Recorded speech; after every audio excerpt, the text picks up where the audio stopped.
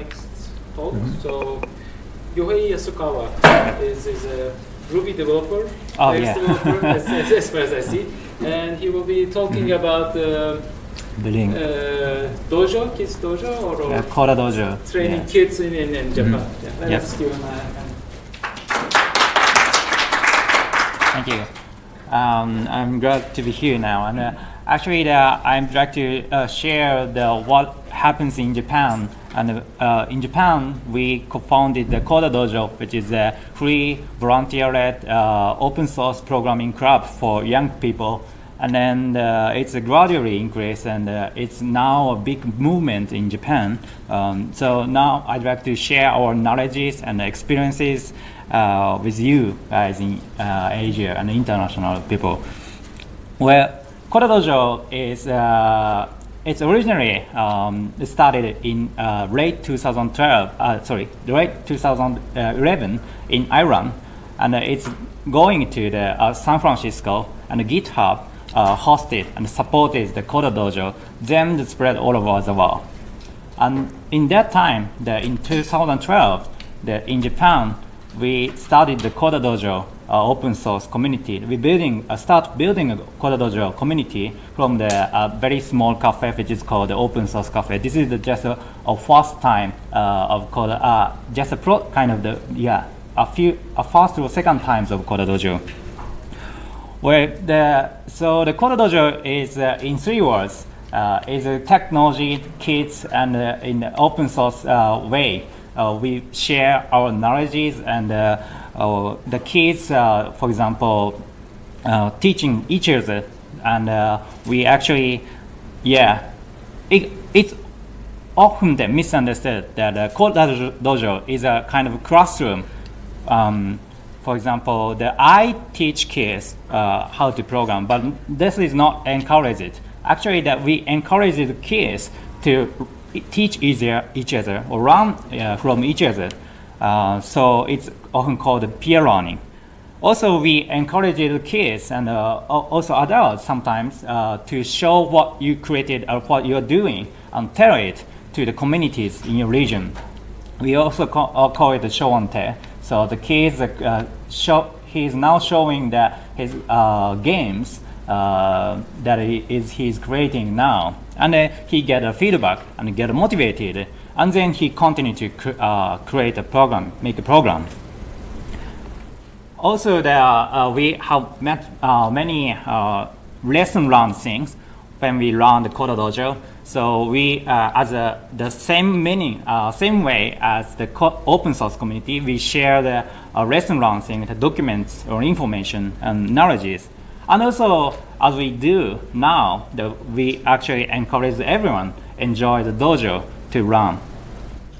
Now the Coder Dojo in Japan is uh, really uh, becoming big. And for example, this is uh, just a screenshot of timeline uh, in Japan, the Coder Dojo. So in one in a week, uh, every week the dojo has happened uh, in many areas in Japan. And actually, for example, the, in the number, the last year we have the 25 dojos in Japan. But now, uh, this 2017, the March, we have the 75 plus dojos.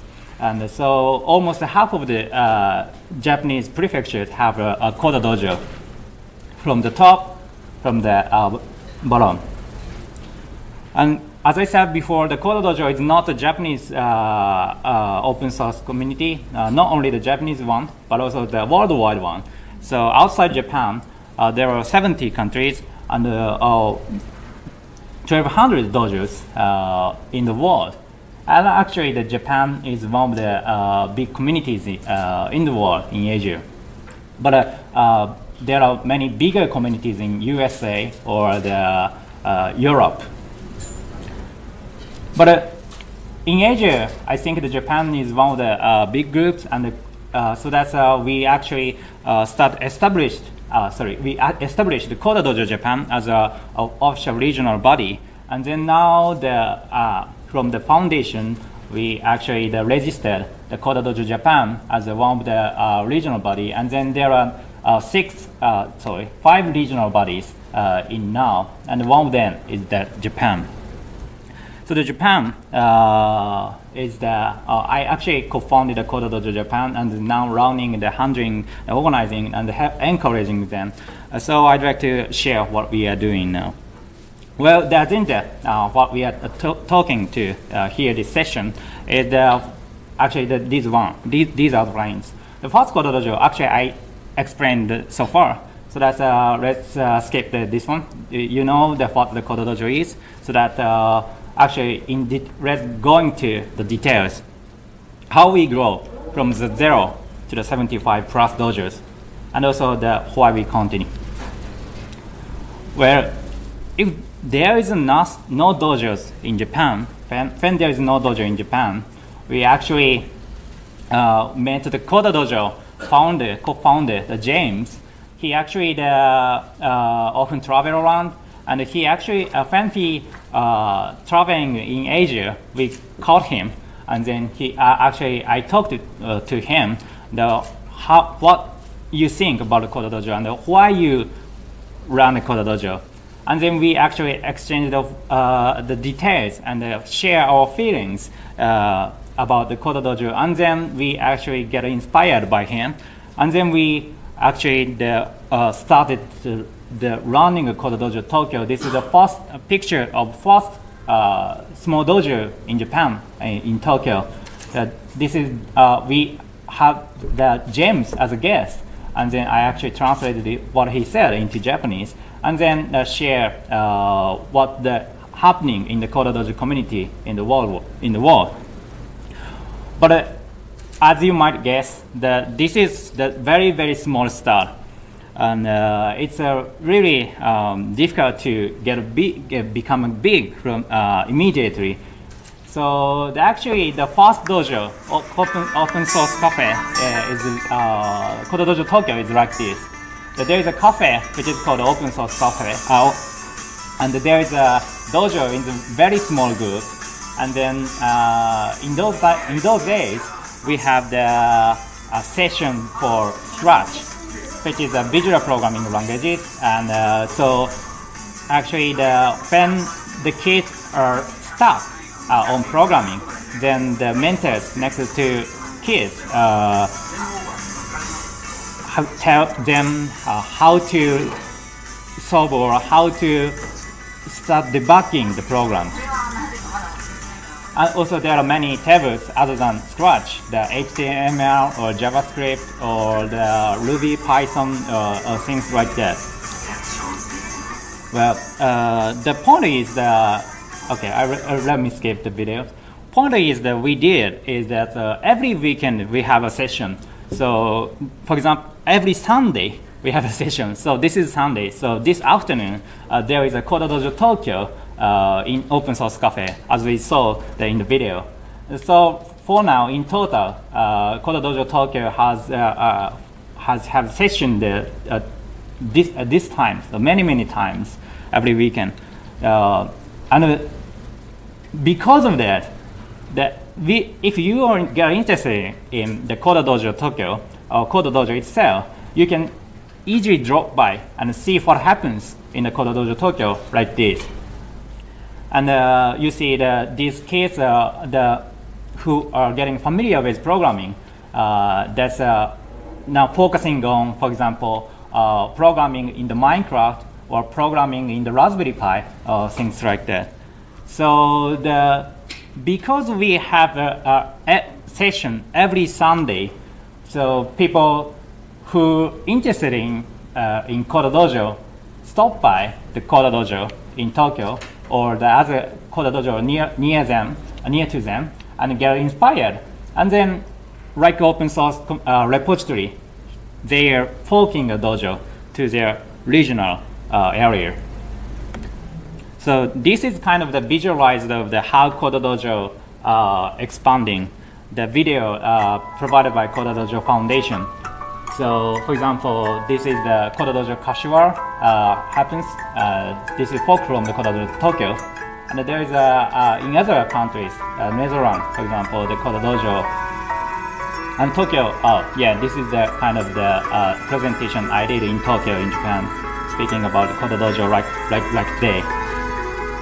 So, uh, like this network, uh, we often share the uh, exchanging information and uh, how to be continuously runnable the uh, Dojo in their each region.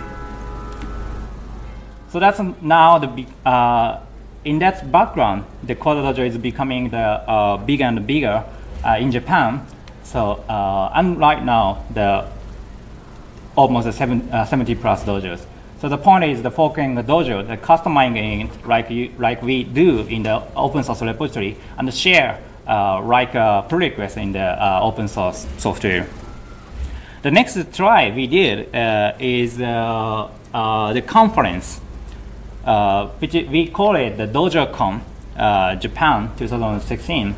And this is a picture of the DojoCon actually. Why we did it? because becoming the getting bigger and bigger in the Coder Dojo, there are many people who who don't know, uh, who, who you don't know. So that's uh, the opportunity for mentors or organizers or, or kids uh, is really uh, helpful for them to meeting each other and exchanging the information. What do you think? Or why do you uh, start a dojo? Or why do you help running a Coder dojo? So this is the big conference, but we actually, I think this was a very successful one uh, to make the Coder Dojo bigger in Japan. So for example, uh, um, as I said before, the, the one of the sessions, for example, I actually uh, asked the reasons why you start. And uh, these two is actually the, not uh, the adult, uh, they are still the students. He's now high, he started the Coder Dojo when he was a high school student, and he is now the uh, graduate student, but he started the Coder Dojo when he was a university student. So why you, uh, we, so we ask the question and share uh, why they started the Coder Dojo in their region. That's a kind of a helpful for the attendees uh, to get inspired and to get motivation uh, for them to start or to help.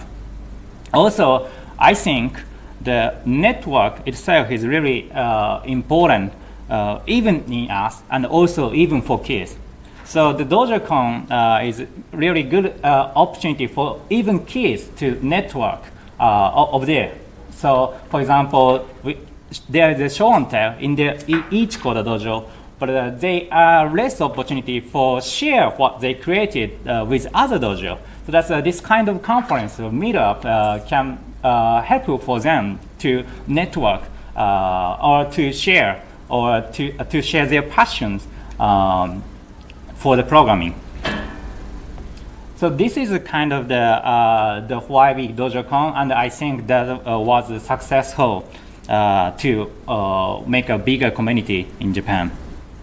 The last slide actually to share here in this presentation is that uh, we actually wrote a book to uh, expand more, that to uh, let them know about the Coder Dojo, how Coder Dojo works by books, by learning the programming languages for kids. So the book itself is the technically um, not so surprising. It's uh, the uh, typical the Scratch book for running visual programming languages for kids. But the point is different from the uh, usual books is that uh, this is the composed by the story-based learning. So uh, this Scratch book um, tells you the how to make a programming by using Scratch, visual programming languages, by attending the each dojo uh, virtually in the book. So for example, uh, the, this, these are the avatars uh, but the, this one is the uh, organizer of dojo. So the, these kids uh, to uh, going to dojo to dojo to run Scratch programming uh, from the organizer or mentors in the Coder dojo. So that's, that, this means the virtually. And then the, so the first chapter, the second chapter, the, the kids going to dojo to dojo uh, to learn more to run shooting game, to run the, uh, the a complex game, or things like that. Uh, for example, music game in this uh, chapter. And then the, finally, we revealed the Coder Dojo itself is not virtually uh, virtual. And there is a Coder Dojo. The organizers or mentors in this book, appear in this book, is actual person uh, in there. So, and uh, the rest of the book, uh, the, uh, we tell that there are many Coder Dojo uh, that we cannot introduce uh, in the book, and then we listed them. That is the kind of this kind of the uh, tries about the, doing the conference on the publishing the books. And inspire, inspiring them by yeah, using the same method as the open source community uh, is there a way to uh, get bigger in Japan from 25 to uh, 75 plus dojos in Japan? Well, the last thing I'd like to share uh, is that, uh, that I think the, one of the big important thing is why it works, why we continue to run. In the software, the computer's uh, continuously runs, but because this is the physical community, we need to prepare for the venue or having a session and uh, uh, uh, for example the announcing the dojo. It yeah. It's uh it, to be honest it's cost but they do and they continue. The reasons is uh, kind of the uh, for me very uh, curious about it. And uh, in my point of view there's no one simple answer the one simple reason but there are many, many various reasons to attend, to mentor, to help mentoring, and to start a dojo. So let, uh, let me share uh, some of the examples why they started. The, for example, the say DojoCon members, the organizers and uh, helpers, uh, is also the uh, kind of the contributors to the Coder Dojo. For example, she is one of the contributors to Coder Dojo. She is uh, uh, really good at the designing and the photograph uh, and the photographer. So he, uh, she is now uh, taking a photo, or she is helping the web design in the DojoCon Japan uh, website.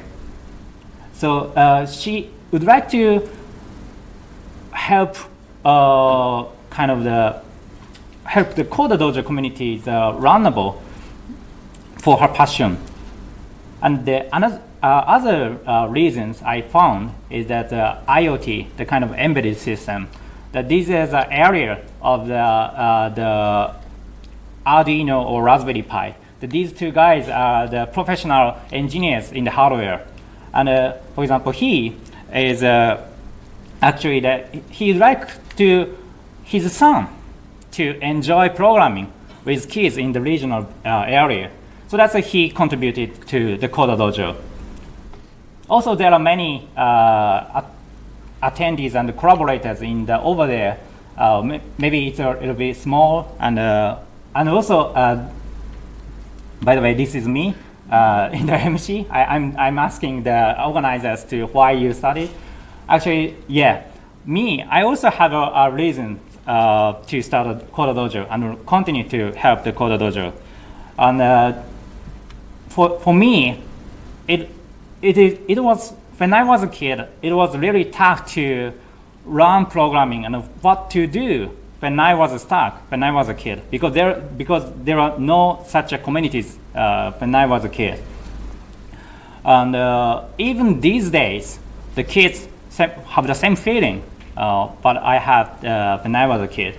For example, uh, this kid, 10 year old, uh, but he developed the, and published his web services by using Ruby on Rails. And he said in his presentation uh, that uh, uh by, by answering the question to how to become uh, like you, and then he answered this.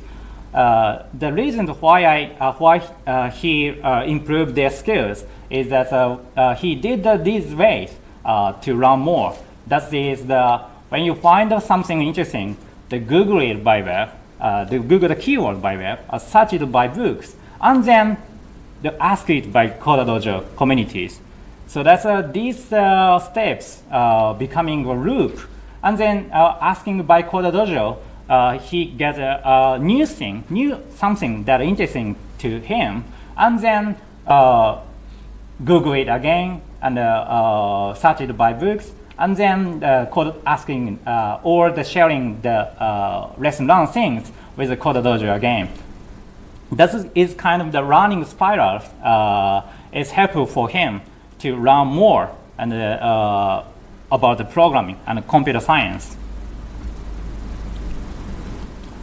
Oh yeah, and the, another example to me is that, uh, and th- that is uh, uh, surprising to me, is the the reason because there are no dojos. He is uh, uh, he, actually the posted the Coder Dojo group uh, the last week. The, he said uh, what he said is he'd like to he is still a junior high school student, 30 year old, but he would like to attend a Coder Dojo, but there are no Coder Dojo around the, what, where they live. So that's why he would like to start a dojo, and uh, because no dojos around their home. And so he actually calls for the uh, collaborators or uh, to run a dojo with him. And then, uh, as you see, the, there are uh, almost 20 shares uh, to, to, for his post. And then we actually finally found the collaborators to start a dojo for him and the for kids around him, around the area he living.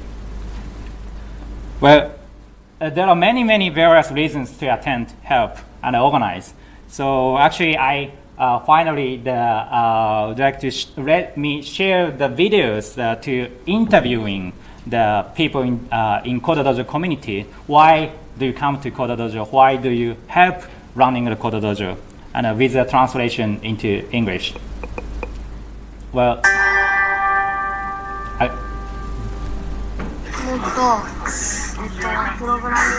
he said he want to improve his coding skills. He's 難 attendee しすぎる and make tough games. 道場はいつ His も girl, 来てあげればすぐ来てくれて when she 優し raise く her hands, 教え you know, てく you れて can 分かりやすい get help. 家でプログラミングをしているとどうしても一 And 度 uh, as I said before, stack そういう of 時に coding.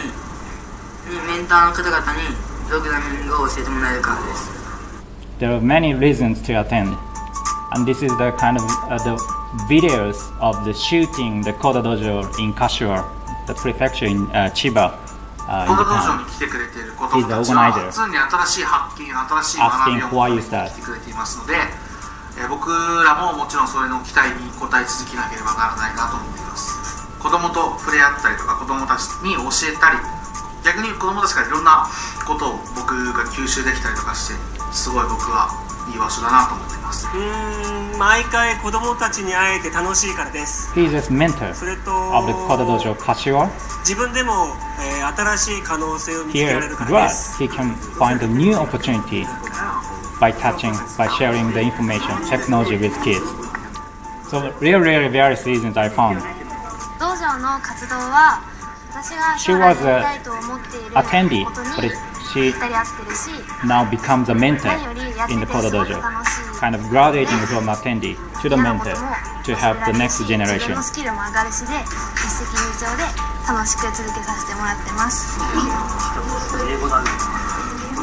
He is now stuck uh, in reading the English sentences, but the mentors help to read and understand. 何ができるかという形で目的意識を持って活動してもらえたらいいなというふうに思ってます。純粋に子供たちと He just like to see the smiling face of kids. So that's he started Koda Dojo in Moria, in Japan. So that he keep do- doing the Koda Dojo, running. He ミ is not programmer, not good But he liked to shoot videos like this. So he's a designer kind of.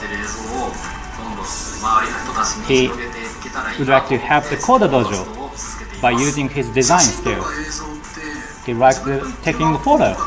So taking a photo of a picture or movies of the Coder Dojo activities, then show what happens show why they started, why they continue to help. しかも 評価してもらえるやっぱり常に新しい刺激があるから僕はここに来ていますまあ将来有名なプログラマーになって So many programmers in the open source community. So he'd like to be a great programmer.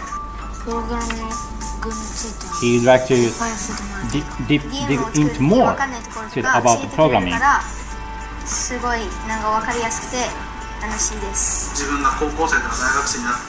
so this is kind of important thing I think so enjoy the Coder Dojo and then the pass the passion to the next generation then it works the again and again that's the kind of one of the concepts and the, the reasons uh, in the background why Coder Dojo running and uh, continuing in Japan.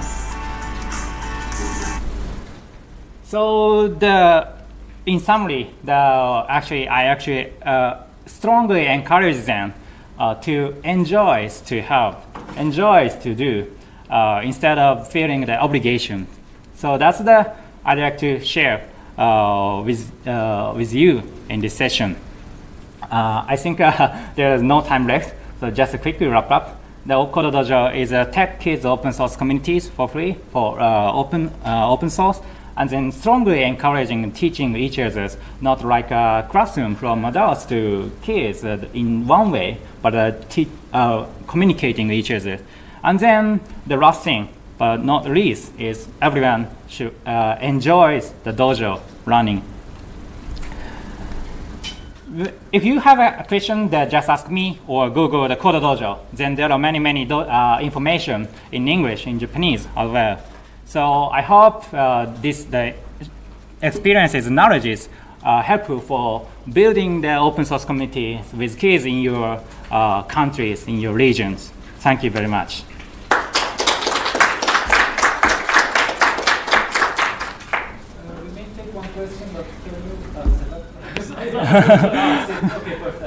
Okay, so there will be, and I think that there will be other people um, running courses that the parent have to pay. Uh, Are you competing with them? Actually, we are we not allowed uh, to charge kids to attend the Coder Dojo. This is uh, uh, one, uh, one of the rules to be a Coder Dojo. So Yeah, but will they complain or say that oh you're taking our business or something like that? we actually the yeah uh, open to the so Coder Dojo has a, a very very few rules uh, for for example charging a kid, but uh, you can use your uh, lesson learned things to, for example, writing a book or the doing the Oh. business by not using the Coder Dojo. So it's also fine. It's kind of uh, inclusiveness is one of the important thing uh, in Coder Dojo. Good. Thank you. Okay.